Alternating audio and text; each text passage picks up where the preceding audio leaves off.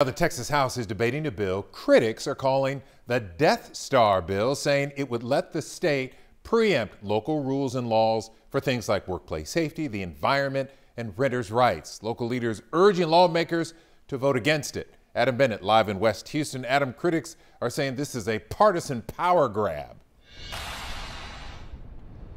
That's right, Lynn. You may remember in the Star Wars movies, the Death Star could instantly destroy entire planets. Well, critics say this bill would do the same thing to local policies and laws on things like minimum wage, paid time off, and worker safety. But the bill's supporters say it would create consistent regulation to help Texas' economy keep growing. Houston and some of the fastest growing cities in the country call Texas home. But some worry the Republican led state legislature could hurt those mostly Democratic run cities' success and their right to self govern. These bills are threats to democracy, uh, they're threats uh, to civil rights and human rights. Bishop James Dixon and other community leaders and elected officials publicly condemned House Bill 2127 this morning. It would allow the state to preempt local policies and ordinances in eight sections of the code.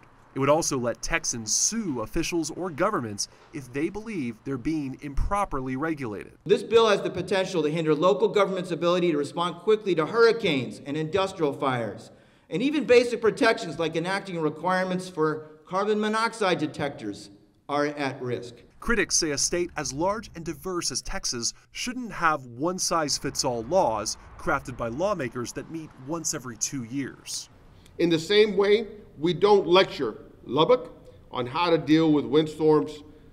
Uh, let's keep the part timers at the Capitol from inserting themselves into how we operate here in the Gulf Coast. Lubbock Republican State Rep Dustin Burrows wrote HB 2127. We want those small business owners creating new jobs and providing for their families, not trying to navigate a Byzantine array of local regulations that twist and turn every time they cross city limit sign.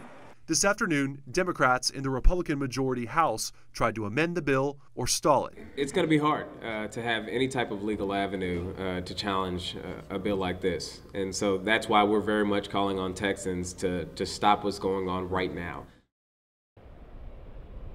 Representative Burrows did tell lawmakers that cities would retain authority in zoning, daycare centers, utilities, parking, and a number of other areas. Meanwhile, if this bill does pass the House, it would then have to go to the Texas Senate to get approval before heading to the governor's desk.